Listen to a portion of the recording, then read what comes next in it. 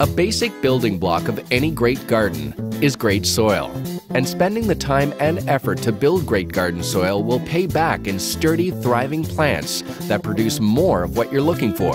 Unfortunately, the average yard doesn't come with fertile soil. If soil is too dense and compacted, roots have a hard time pushing through. On the other hand, if soil is too sandy, it will dry out too quickly, leaving your plants without vital water. Good garden soil feels light and crumbly and breaks apart easily.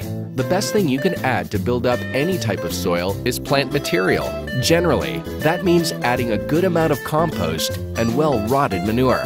Compost made from lawn trimmings and other plant cuttings work well. Just be sure never to add diseased or buggy plant material to your compost.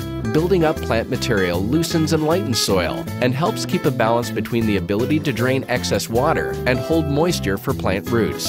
Compost and manure also add major nutrients that help plants grow, like nitrogen and potassium.